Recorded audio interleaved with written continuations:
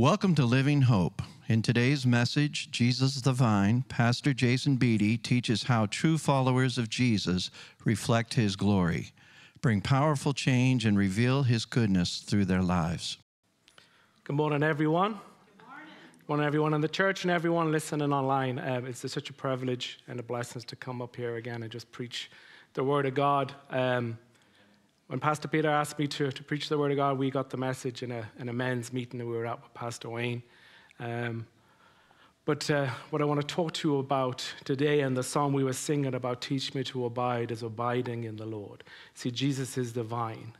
You see, there was a parable that Jesus spoke, and John writes about it in his letters. And this parable is one of the most significant and powerful verses in the Bible. You know, it's so deep, it's so profound, and it's so powerful, and has such a meaning that it's so important to understand what Jesus is saying in the parable, its intent, and how we can apply it for our lives today. So, whether you're a long life Christian or you're just beginning your faith journey in Christ, this passage is essential to your walk with Him. It's, uh, you know, and, and it's understanding the significance and the transformation that takes place so that we can be more Christ like in our lives.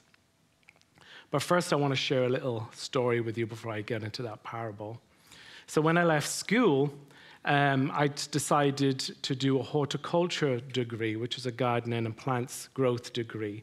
As my father at the time, he was in horticulture and he had his own garden center. But part of this degree involved a process known as grafting. You know, so grafting is the process, it's a process of propagation where we take a cutting of one plant and we graft it to another plant, or it's fused to another plant. So you could say that the main plant is the vine and the branch then is attached to it. This is known as grafting. Um, but the vine itself is already a fully grown plant. You know, we can also, reason why we graft is because we can create new roses and a rose bush can have more than one color. This, this process is usually done because the main plant, the vine, is stronger, it's disease resistant, it has proven itself to be a good fruitful, fruitful plant, and this is why we graft other plants into it.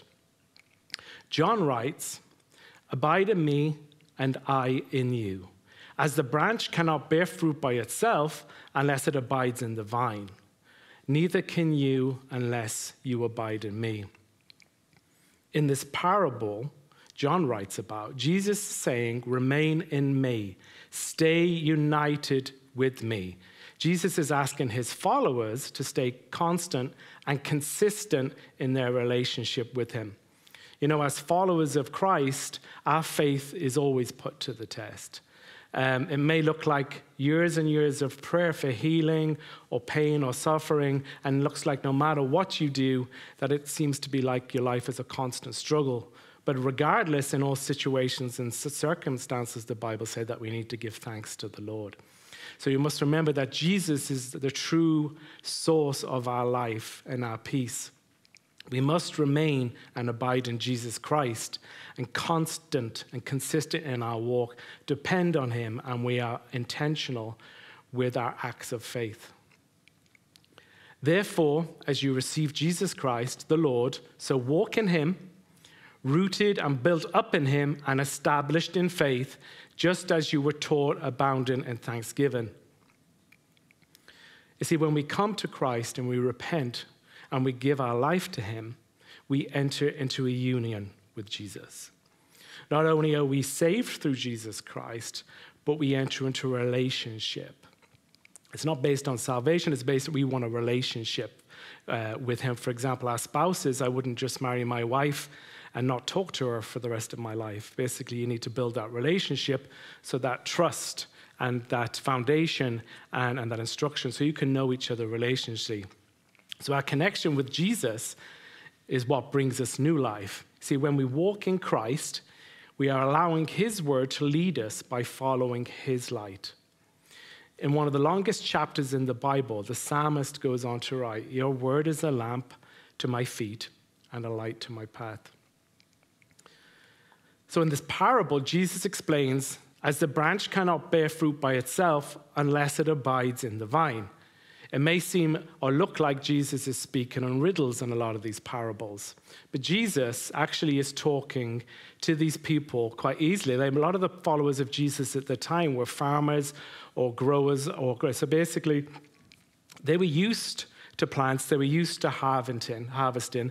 And this process of grafting dates back a thousand years before Christ. So before Christ, people were already familiar with grafting of plants to make them stronger. So in this parable John writes about, Jesus is saying, just like a plant that has been grafted, we are cut from our old way of life and we are now connected to Jesus Christ. See, if we have declared Jesus Christ our Lord and our Savior, and we've put our belief in Him, we should now be reflecting the glory of God in our lives, right? And, you know, we, are, we need to reflect His glory and we need to be led by the Spirit of God and obeying His word. So we can't say we're in Christ, we're, we're, we're, in Christ and not obey His word. See, see, when we attach to Jesus Christ, when we attach to the vine, which is Jesus, our old way of life no longer should be allowed or have control of our life. Just like the vine, when we are cut off from the old way of life, we are attached to something new, which is the vine. What you need to understand is once we're cut off from our way of life, there ain't no going back. There's no going back once you're cut off from your plant. Now you're grafted into the body of Christ. So Christ goes on a little bit further, and we'll see what happens is when we don't abide in Him. We don't go back to the old way of life, we die. You know, our spiritual life dies, our eternal life. So we need to be very careful. So the Spirit of God that now lives within us should transform us and guide us in the righteousness through Jesus Christ. Because it says that his righteousness now transfer to us through the, what we've just received through the body and the blood of Jesus Christ, right? So our unity with Jesus should manifest inside of us a genuine compassion and love for others. So, as we walk with Christ, our actions and relationships should no longer be in alignment with the world, but in alignment with Jesus' word, with the word of God. It takes about five to eight years for a rose to fully graft to the plant. And would you believe that out of only a few roses that are launched every year, 50,000 of them would die? 50,000 roses would die because they have been rejected from the vine because they haven't accepted the change or the process of grafting. So, there is a study actually in plants called epigenetics. And what it does, the study of how behaviors and the environment cause changes that affect your genes work. This is both in plants and animals. So in epigenetics, there's chemical markers that act on your existing genes or your DNA, and they can turn them on and off. So it can determine whether a cell becomes a muscle cell, a skin cell, and determine how a plant reacts in different soils, in different climates, and in regards to a disease. So, just like in epigenetics, our unity with Christ changes the way we act in different situations, right? It should, that, that's the process. It should be. Uh, so, the old problems we have might not go away. You know, the difficult relationships and struggles might not go away, they can still remain. But now, the old ways and our old reactions and situations and the acts of faith and relationships now are changed in accordance to Christ and his, our union with the vine, right? So, further on in this passage, Jesus goes to say, I am the vine, you are the branches. Who abides in me and I in him, he bears much fruit. For apart from me, you can do nothing. You see, Jesus is saying, because you are, no, because you are now grafted onto the vine, your source of life comes from him. Your old source no longer feeds you. So you cannot go back to your old source. Once you're attached to the vine, you're cut off from the old way of life. You are now a new creation in Jesus, a new person that's created for him, in him, and for his glory. Then Jesus goes on to say something very profound and almost shocking in His Word. And it's the part we don't like to hear, and it's the part we don't like to listen to, and it's the part we often don't want to believe. If anyone does not abide in me, he is thrown away as a branch and dries up. And they gather them and cast them into the fire, and they are burned. That's pretty hard to hear, isn't it? That, that, that's pretty difficult even to me to understand this. Jesus is saying that if you don't abide in me and my word abides in you, you ain't going back to your old way of life. You know, it withers up, it rots, it falls off and dies. But we can still think that we're remaining and abiding in Jesus, but we're not fruitful. We can still come to church on a Sunday and think we're abiding in Christ, but when we go out there, we're different people and our lives don't reflect Him, don't reflect His glory, and don't, we don't follow the Word of God. See, Jesus here, this is almost a commandment Jesus is saying. Jesus is saying, and He's given us a warning, you know, uh, to abide in Him and to remain in Him. Jesus is telling this parable to His followers, not unbelievers. He's talking to the body of Christ. He's talking to people that are already in him. He is speaking to believers. See, Jesus is telling us to be careful not to try to fall back into our old ways of life. See, we all know what happens sometimes when you hear of uh, when, you, when, you, when, you, when you give up that sin and you go back to it, it comes back much stronger than it was before and to fall back into our old ways. We have to understand that we're, we're now cut from that old way of life, and we should be following Jesus' example to be more Christ like in our life. So, our union with Jesus should bring transformation, right? And we should react different in certain situations, just like in epigenetics. Now, I can tell you for a fact I'm no saint. I don't always act that way with my wife, and I'm the first to put my hand up.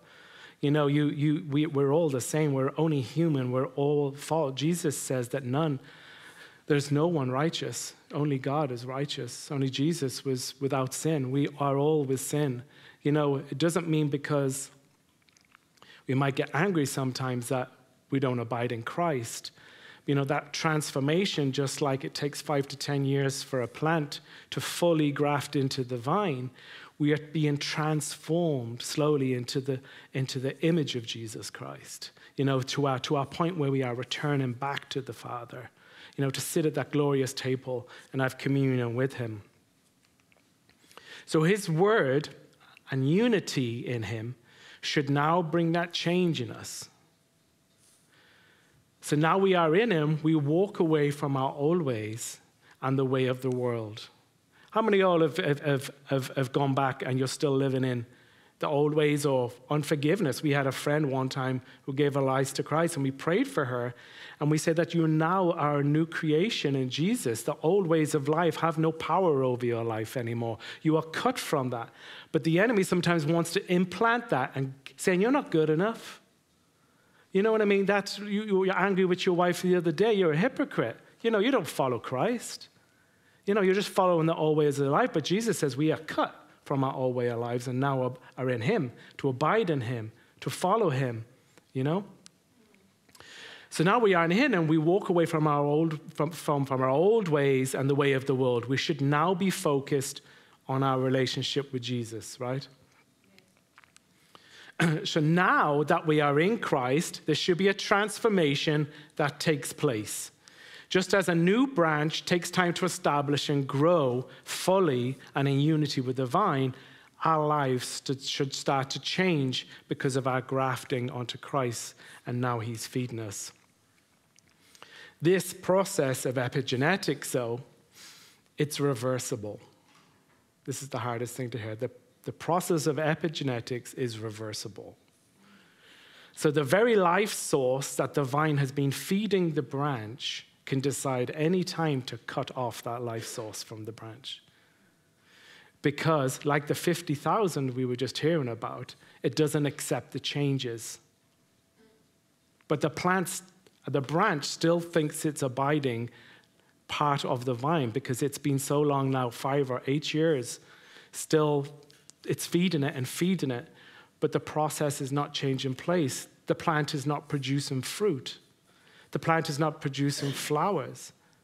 You know, Paul writes in scripture, you know, that you can tell of our faith by the fruit that we produce. You know, so we ask, like, are we producing fruit? Is it good fruit? What are we bearing? So that's why 50,000 plants or roses don't fail to graft properly every year because they reject the changes that are supposed to happen. There is no fruit, so the vine is cut off. The vine cuts off the life source from the branch. So Jesus is stating in this parable if we say we are in him, we have accepted him as our Lord and our Savior, we claim to be grafted to him, but our unity with him doesn't bring change or bear any good fruit, then we'll be cut from the vine. That's pretty hard to, to hard, you know, to understand that because for me, it's, it's, it's hard to, to hear that word. It's so, it's almost you feel like you're being rejected, but you know what I mean? He's, he's, he's, he's you know, what happens like when you, when you're attached to, the, to one plant and one part of the plant is disease? Unless that plant is cut off from the vine, it can affect the other branches, right? That disease can manifest and start to, to cause disease and rot within it. You see, we can fool ourselves, and we might be able to fool other people into thinking that because we have accepted Christ, we are saved.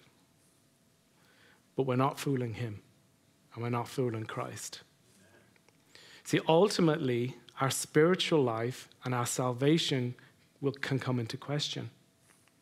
I'm not one of these people that believe in once saved, always saved, because even that enemy knows Jesus Christ. They believe in him, but they don't follow him. We can say we follow him, but our life doesn't resemble his goodness and, his, and, and, and reflect his glory.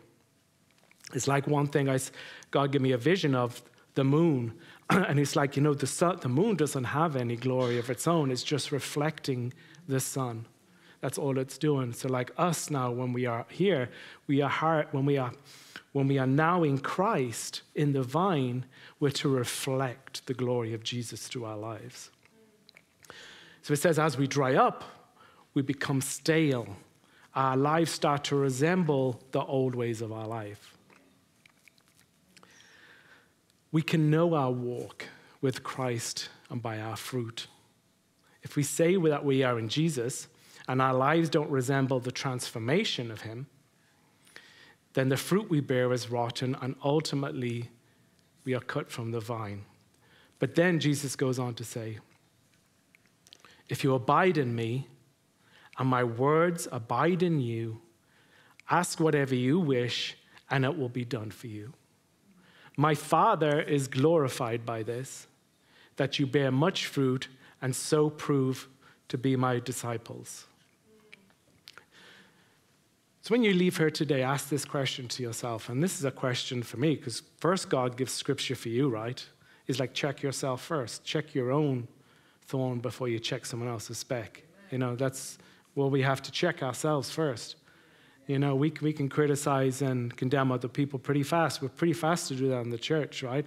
But we never look in the mirror sometimes and go back to ourselves. And that, that's pride, really.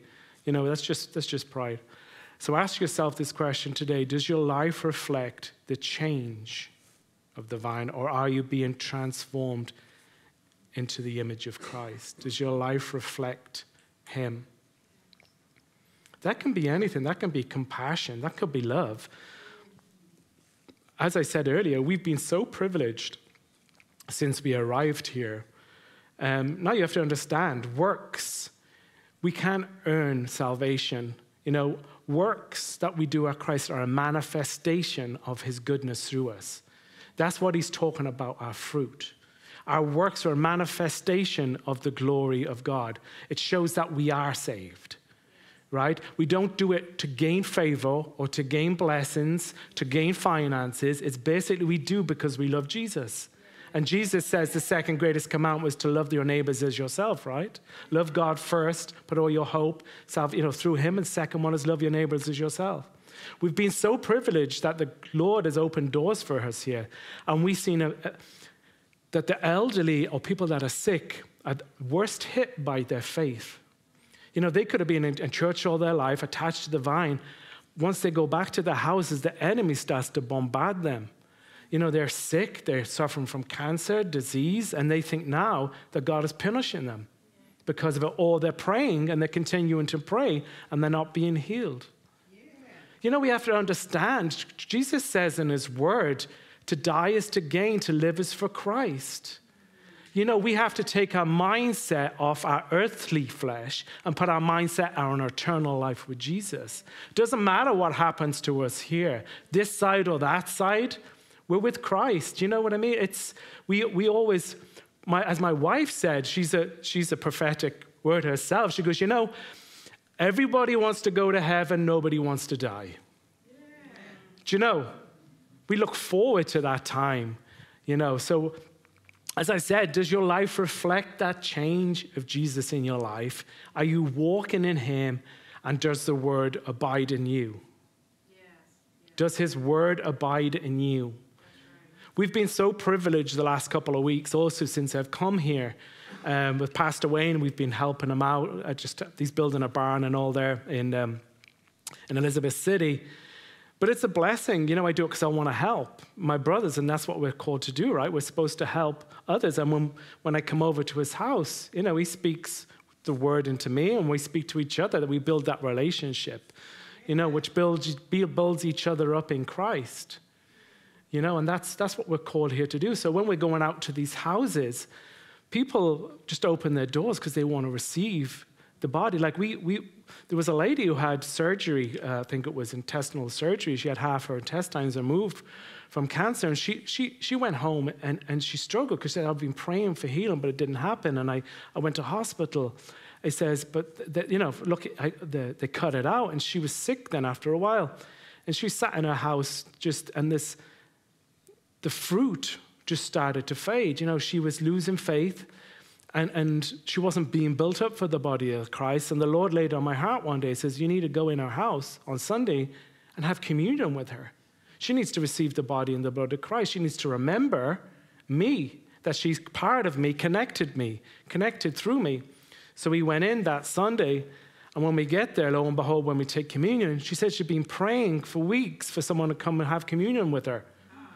And you know, and, and if, if, if this is so, you know, we, this Christmas, we need to look at our friends and our family and say, are we doing everything that they can abide or just show compassion and love through our lives and reach out to people?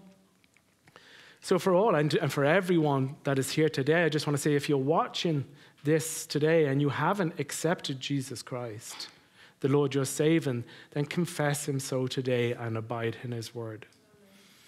It says in Romans, it says, if you declare with your mouth Jesus is Lord and believe in your heart that God raised him from the dead, you will be saved. For it is with your heart that you believe and are justified, and it is by your mouth that you profess your faith and saved. Father, open our minds now to hear your word and understand more about who you are. Bless your servant as he shares your word, and bless us to walk in your ways. In Jesus' name, amen. We hope this message has filled you with living hope in Jesus. If you would like to talk to someone about your spiritual journey, please leave a comment or send us a private message. We enjoy reading your notes and having an opportunity to pray with you. If you received a blessing through this message, please share it with others. We invite you to become a Living Hope partner by donating as little as a dollar a month through our QR code. Your gifts will help us create new messages and reach more people. Living Hope is a ministry of Ingleside International Incorporated. All donations for Living Hope qualify as a charitable contribution. Thank you for your prayers and support. Next week, we will continue learning together from the Word of God. God bless you and fill you with living hope.